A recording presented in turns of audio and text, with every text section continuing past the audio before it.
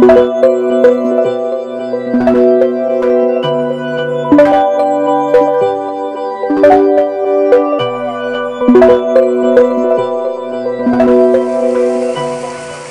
bosque de la Devesa de Rogueira pertenece a la red Natura 2000 y ha sido declarado Zona de Protección Especial de los Valores Naturales. Es además el primer bosque de España y el segundo de Europa en conseguir la prestigiosa certificación del FSC.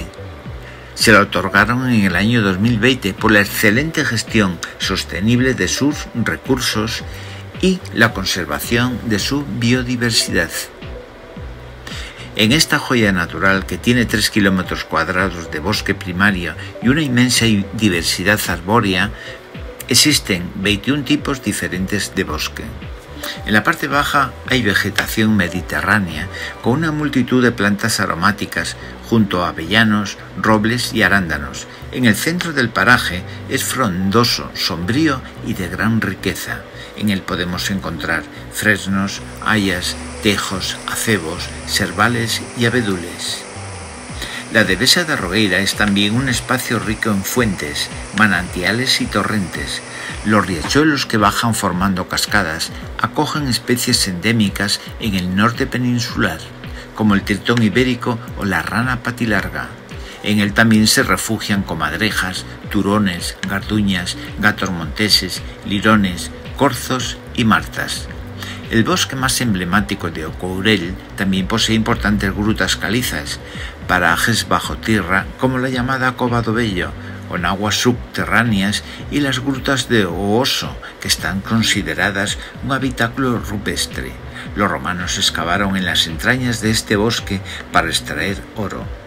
En sus cumbres hay lagunas de origen glaciar y en su parte más alta se encuentra el pico de Formigueiros, que tiene 1.641 metros.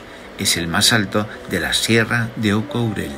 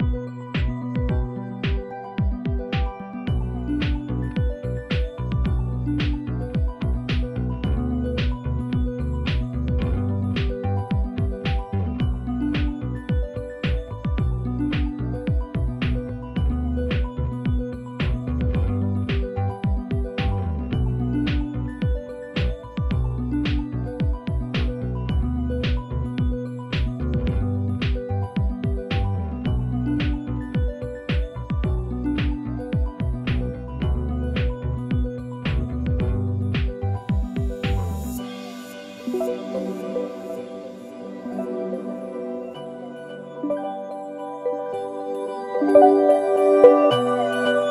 you.